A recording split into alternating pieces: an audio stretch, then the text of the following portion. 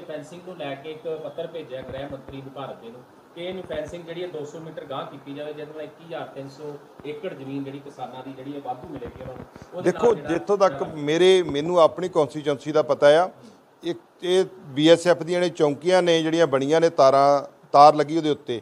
BSF ਦੇ gate ਨੇ। ਚੌਂਕੀਆਂ ਤੋਂ ਬਾਅਦ ਗੇਟ ਆਉਂਦੇ ਆ ਉਹ ਗੇਟਾਂ ਤੋਂ ਪਾਰ ਜ਼ਮੀਨ ਪੈਂਦੀ ਆ। 83 ਨੰਬਰ ਚੌਂਕੀ ਤੋਂ ਲੈ ਕੇ ਸੌਰੀ ਗੇਟ ਤੋਂ ਲੈ ਕੇ 92 ਨੰਬਰ ਗੇਟ ਤੱਕ ਬੀਐਸਐਫ ਦੇ ਜਿਹੜੀ ਜ਼ਮੀਨ ਹੈ ਉਹ ਪਾਰ ਹੈ। ਬੁਰਜ ਪਿੰਡ ਤੋਂ ਲੈ ਕੇ ਵਿਹਰੇ ਪਿੰਡ ਤੋਂ ਲੈ ਕੇ ਕੱਕੜਾ ਤੱਕ ਜ਼ਮੀਨ ਜਿਹੜੀ ਆ, ਉਹ ਤਾਰ ਦੇ ਪਾਰ ਹੈ। ਗਲਤੀ ਨਾਲ ਤਾਰ ਜਦੋਂ 90 ਚ ਲੱਗੀ ਆ, ਉਹ ਪੌਣਾ ਕਿਲੋਮੀਟਰ, ਕਿਤੇ ਕਿਲੋਮੀਟਰ ਅੰਦਰ ਭਾਰਤ ਵਾਲੇ ਬੰਨੇ ਲੱਗ ਗਈ ਆ। ਉਹਦੇ ਨਾਲ ਇੱਕ ਤੇ ਜ਼ਿਮੀਂਦਾਰ ਬਹੁਤ ਪਰੇਸ਼ਾਨ ਨੇ। ਕਰੀਬ 2000 ਏਕੜ ਸਾਡੀ ਇੱਥੋਂ ਦੀ ਜ਼ਮੀਨ ਹੈਗੀ ਹੈ ਬਾਕੀ ਮੈਨੂੰ ਅੱਗੇ ਨਹੀਂ ਪਤਾ ਅੱਗੇ ਕਿੰਨੀ ਹੈ। ਉਹ ਜ਼ਮੀਨ ਜ਼ਿਮੀਂਦਾਰ ਆਪਣੀ ਖੇਤੀ ਟਾਈਮ ਸਿਰ ਨਹੀਂ ਕਰ ਪਾਉਂਦੇ।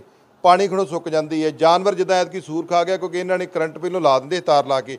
ਉਹ ਵੀ ਲਾਉਣਾ ਬੰਦ ਹੋ ਗਿਆ। ਸੋ ਮੈਂ 17 ਚ ਜਦੋਂ ਬਣਿਆ, ਮੈਂ ਬਾਰ-ਬਾਰ ਵਿਜ਼ਿਟ ਵੀ ਕੀਤੀ ਹੈ, ਸਰਕਾਰ ਨੂੰ ਲਿਖਿਆ ਵੀ ਹੈ, ਪਾਰਲੀਮੈਂਟ ਦੇ ਅੰਦਰ ਵੀ ਆਵਾਜ਼ ਉਠਾਈ ਹੈ। ਪਰ ਸਰਕਾਰ ਦਾ ਹਾਂ ਪੱਕੀ ਜਵਾਬ ਜ਼ਰੂਰ ਆਉਂਦਾ ਵੀ ਅਸੀਂ ਇੱਥੇ ਕੁਝ ਨਾ ਕੁਝ ਆਉਣ ਵਾਲੇ ਸਮੇਂ ਦੇ ਵਿੱਚ ਕਾਰਵਾਈ ਜ਼ਰੂਰ ਕਰਾਂਗੇ, ਇਹਨੂੰ ਤਾਰ ਨੂੰ ਅੱਗੇ ਅਸੀਂ ਲਿਜਾਵਾਂਗੇ।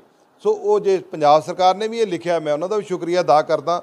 ਪਰ ਇਹ ਬੜੀ ਵੱਡੀ ਸਾਡੀ ਇਧਰ ਬਾਰਡਰ ਦੇ ਏਰੀਆ ਦੀ ਜਿਹੜੀ ਹੈ, ਉਹ ਬੜੇ ਲੰਬੇ ਸਮੇਂ ਦੀ ਜਿਹੜੀ ਪੈਂਡਿੰਗ ਹੈ, ਇਹ ਡਿਮਾਂਡ ਹੈ ਔਰ ਇਹ ਕਰਨਾ ਕੇਂਦਰ ਸਰਕਾਰ ਨੇ, ਅਸੀਂ ਕੇਂਦਰ ਸਰਕਾਰ ਦੇ ਮਿਨਿਸਟਰ ਨੂੰ ਫਿਰ ਮਿਲਾਂਗੇ ਔਰ ਪਾਰਲੀਮੈਂਟ ਦੇ ਆਵਾਜ਼ ਜਿਹੜੀ ਹੈ ਇਹ ਦੁਬਾਰਾ ਤੋਂ ਰੱਖਾਂਗੇ। ਸਕੈਨਰ ਸਰ ਫੇਰ ਉਡਾ ਦਿੱਤੇ ਗਏ ਨੇ ਤੁਸੀਂ 10 ਸਾਲ ਦਾ ਤੁਹਾਡਾ ਮੁਸ਼ਕਲ ਰਿਹਾ ਫਿਰ ਸਕੈਨਰ ਉਡਾ ਦਿੱਤੇ ਨੇ। ਦੇਖੋ ਬਦ ਬਦ ਕਿਸਮਤ ਹੈ 2012 ਦੇ ਜਦੋਂ ਦੀ ਆਈਸੀਪੀ ਬਣੀ ਹੈ ਪਾਕਿਸਤਾਨ ਨੇ ਉਦੋਂ ਦੇ ਦੋ ਸਕੈਨਰ ਲੱਗੇ ਨੇ ਜਿਹੜੇ ਟਰੱਕ ਸਕੈਨ ਕਰਕੇ ਜਿੱਦੇ ਸਾਡੇ ਪਾਕਿਸਤਾਨ ਜਾਂਦੇ ਨੇ ਸਾਡਾ ਸਮਾਨ ਲੈ ਕੇ ਉਹ ਦੋ ਟਰੱਕ ਸਕੈਨਰ ਲੱਗੇ ਨੇ।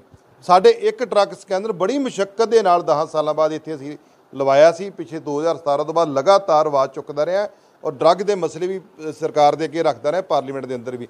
ਪਰ ਜਦੋਂ ਸਕੈਨਰ ਲੱਗ ਗਿਆ ਕਸਟਮ ਵਿਭਾਗ ਆਂਦਾ ਕਿ ਇਹ ਮੇਰੇ ਮਾਪਦੰਡਾਂ ਦੇ ਮੁਤਾਬਕ ਇਹ ਹੈ ਹੀ ਨਹੀਂਗਾ ਤੇ ਇਹ ਪਹਿਲਾਂ ਜਦੋਂ 4 ਸਾਲ ਇਹ ਸਕੈਨਰ ਉੱਥੇ ਪਿਆ ਰਿਹਾ, ਬੰਦਰਗਾਹ ਦੇ ਉੱਤੇ, ਉਦੋਂ ਇਹ ਕਹਿੰਦੇ ਲੈਂਡ ਪੋਰਟ ਅਥਾਰਟੀ ਇਹਦੀ ਐਨਓਸੀ ਲੈ ਰਹੀ ਆ, ਕਿ ਕਸਟਮ ਵਿਭਾਗ ਤੋਂ ਉਦੋਂ ਐਨਓਸੀ ਨਹੀਂ ਲਈ। ਮੈਂ ਤਾਂ ਕਿ ਡਿਮਾਂਡ ਡਿਮਾਂਡ ਕਰਨੀ ਉੱਥੇ ਸਰਕਾਰ ਤੋਂ, ਵੀ ਜਿਹੜੇ ਸੰਬੰਧਿਤ ਅਧਿਕਾਰੀ ਇਹਨਾਂ ਨੂੰ ਡਿਸਮਿਸ ਕੀਤਾ ਜਾਵੇ। ਜਿੰਨਾ ਲਾਸ ਹੋਇਆ ਸਾਡੀ ਜਵਾਨੀ ਦਾ, ਇਹਨਾਂ ਦੇ ਉੱਤੇ ਪਰਚੇ ਦਰਜ ਹੋਣੇ ਚਾਹੀਦੇ ਆ। ਡਰੱਗ ਦੇ ਨਾਲ ਸਾਡਾ ਨੌਜਵਾਨ ਮਰ ਰਿਹਾ।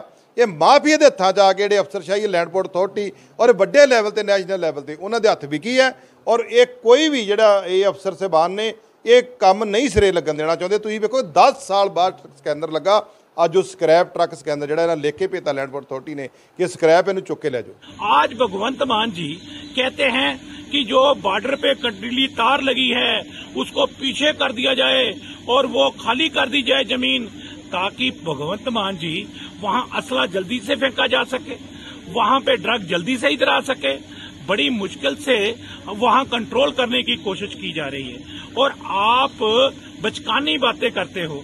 आपको ये चाहिए किसानों की बात करनी है तो ये कहना चाहिए कि किसानों की ज़मीन केंद्र सरकार एक्वायर करे और उन्हें मुआवजा दे।